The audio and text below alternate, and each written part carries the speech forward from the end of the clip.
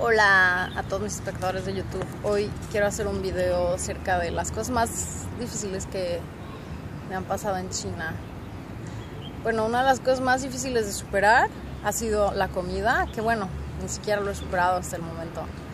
Llegué a China, van a ser ya casi cinco años, pero no fue cinco años seguidos. He regresado a México por cuestión de salud, también de que me enfermé por lo mismo la comida. Eh, regresé seis meses, me dio una enfermedad que se llama Shigella, que es un, pues no sé, un virus ahí en la sangre.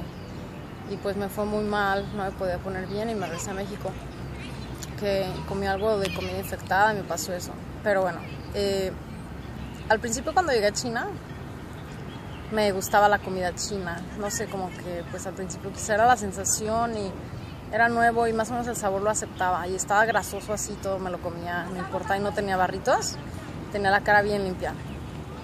Más que ahora. Entonces uh, yo comía muchas verduras grasosas.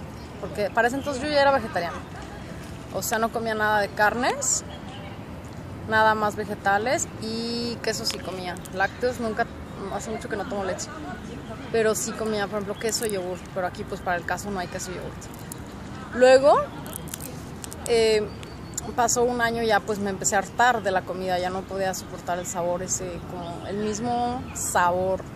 Y después, yo que era vegetariana, empecé a ver que muchos restaurantes cocinaban, por ejemplo, algunas verduras con aceite de, pues de puerco o cosas así, no sé, reciclado, así. Y tenía el sabor muy mal, las verduras así muy aceitosas, ese sabor y ese aguacala, o sea, no.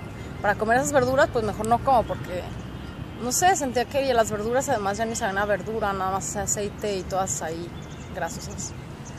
Entonces ya pasó el tiempo y pues ya, pues al año y medio ya empecé yo a cocinar, yo estaba en la universidad y compré la estufa eléctrica que todos compran. Se supone que no es, está prohibido en los dormitorios, pero muchas personas hacen eso y no queda más, especialmente los tailandeses y esas personas que extraen sus comidas. Luego yo traté de cocinar, pues con verduras, cocinaba verduras cocidas y tal. Y listo, más o menos así, compraba cosas afuera. Eh, después, este año yo me hice la cosa que se llama crudi vegana, que es como comer todo crudo. Y eso es lo que me ha ido más bien que nunca. Hace cuatro años, pues más o menos, estaba un poco más gordita, pero no es por la gordura que lo hice, lo hice por la salud. Y resulta que ahora, pues ya es muy limitada en los lugares que puedo comer, porque pues ninguno de los lugares casi tienen ensaladas aquí. Y yo me preparo y yo compro las cosas. Me está picando el pasto. Entonces, ah, bueno, y he visto muchos cambios. Ah, hace un año tenía la cara llena, llena de barros. Bien llena. Si tengo fotos las postearé, pero creo que ya no. Y tenía también pues, pues más gordura. Ahorita pues no tanto. Pero no lo hice por la gordura, lo repito, esto de la dieta vegana fue por algo que vi que decía desintoxicar el cuerpo y yo dije, bueno, yo estoy en China mucho tiempo, igual hace falta que desintoxique el cuerpo. Entonces lo hice y me ha venido muy bien, bajé como pues unos kilos y además la cara se me puso bien limpia. Y lo que más es de que lo más importante, bueno, dejé de tomar el café y el té. Los chinos toman mucho té y claro que el té es bueno, pero creo que en exceso no. Además tiene los dientes bien amarillos. Yo no quería que los dientes se pusieran tan amarillos. Y me siento bien, o sea, me puedo levantar a las 6 de la mañana sin necesitar té ni café y me puedo dormir también tarde y bueno, no es bueno, pero me siento, no, no me siento cansada y sí tengo mucha energía. Y eso es lo que más me ha funcionado en China para sentirme al máximo, porque no puedo comer afuera en restaurantes chinos y menos en lugarcitos así, no. Y además hay una cuestión que se llama el aceite ese, no sé cómo se dice en español, pero en inglés es gutter oil, que el aceite reciclado que vienen de las cañerías y tal, que en algunos lugares lo ponen y algunos no. Pero en fin, este es hecho de desperdicios y bueno, es un riesgo que se toma y pues, es cancerígeno y tal. Y bueno, no te va a lo mejor a pasar nada por una o dos veces.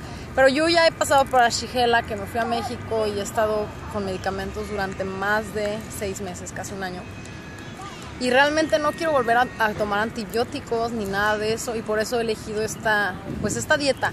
Además de, yo me enfermaba cada mes de la gripa. Aquí en China, como mucha gente se enferma, muy, es muy común. Y creo yo que es porque aquí el ambiente está muy contaminado y también los alimentos no son de buena calidad, o sea, como dicen que a lo mejor son transgénicos. Quizá no tienen el mismo contenido vitamínico que tengan a lo mejor en México, donde pues las cosas a lo mejor pueden ser más naturales. Entonces, si digamos que como una zanahoria, a lo mejor aquí me nutre, no sé, el 50%, el 60%, mientras allá más y además pues mi sistema inmune está más bajo porque voy afuera y respiro tantas contaminaciones y el agua a lo mejor no está tan limpia, o sea, varias cosas que te hacen que el sistema esté muy sensible porque veo que muchos amigos en el ámbito pues profesional y cuando estaba de estudiante se enfermaban, así cada dos meses la gente se enfermaba o cada cambio de estación la gente estaba enferma y se pasaban las, enfermedades. Entonces, uh, pues eso de la dieta crudivegana me ha ido perfecto, aunque me es bien difícil aquí estar haciendo eso porque yo tengo que prepararme y no hay opción. Pero en cuanto a salud yo me siento tan, tan bien. Y también se piensa más claro y se siente uno más en paz, varias cosas. Y bueno, era más que nada platicar de acerca de la comida china, que dicen que es muy buena. Creo que porque dicen que es muy buena es porque los chinos comen muy poquita carne, más que nada comen pues vegetales y pues sí mucho arroz como carbohidrato para que les dé energía. Pero comen, las porciones de ellos son muy chiquitas, entonces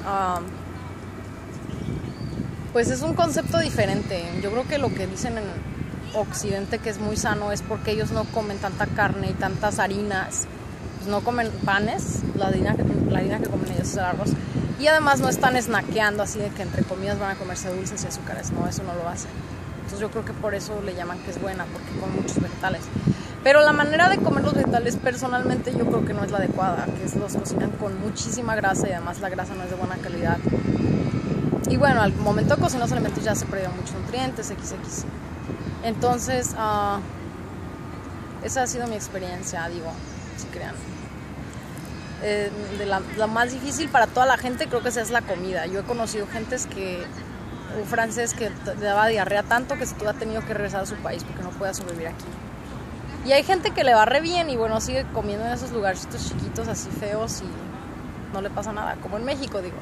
Pero no es solamente porque es asqueroso, es porque realmente al ver cómo cocinan las cosas, cómo andan ahí las ratas o las cucarachas, o, que ni siquiera lavan las cosas, no desinfectan aquí las cosas, no se usa desinfectar las cosas, es como...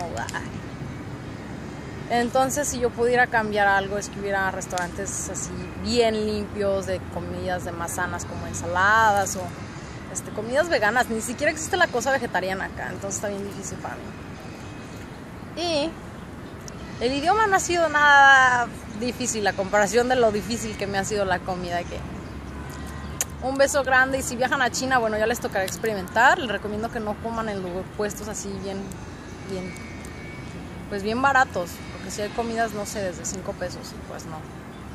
Eh, y es eso, de los problemas más grandes que experimentan los extranjeros aquí en China.